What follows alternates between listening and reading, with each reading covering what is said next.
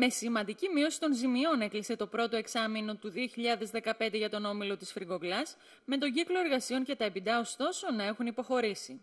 Ειδικότερα, σύμφωνα με τον ισολογισμό πρώτου εξαμήνου του ομίλου και τις συνολικές δραστηριότητες, ο κύκλος εργασιών έφτασε στα 265,161 εκατομμύρια ευρώ έναντι 270,163 εκατομμυρίων το αντίστοιχο περσινό διάστημα, καταγράφοντας πτώση της τάξης του 1,9%.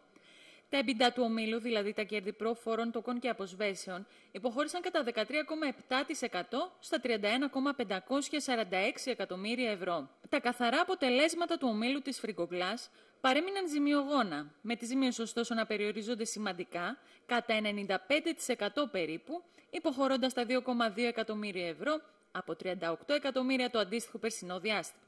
Αναφορικά με το συνολικό δανεισμό της Frigoglass, παρέμεινε σε υψηλά επίπεδα στα 343,9 εκατομμύρια ευρώ, μετά από αύξηση 13,5% σε σχέση με το τέλος του 2014.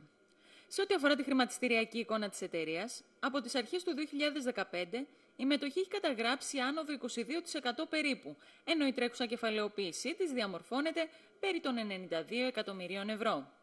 Στην ανακοίνωση της Frigoglass αναφέρεται πως για το υπόλοιπο του έτους οι τρέχουσες στάσεις των πωλήσεων αναμένεται να συνεχιστούν. Σύμφωνα με τον κύριο Νίκο Μαμουλή, διευθύνοντας σύμβουλο του ομίλου, αναμένεται να συνεχιστεί η μείωση του λειτουργικού κόστους, η βελτίωση της συνολικής αποδοτικότητας, αλλά και η αξιοποίηση των ευκαιριών μακροπρόθεσμης ανάπτυξης.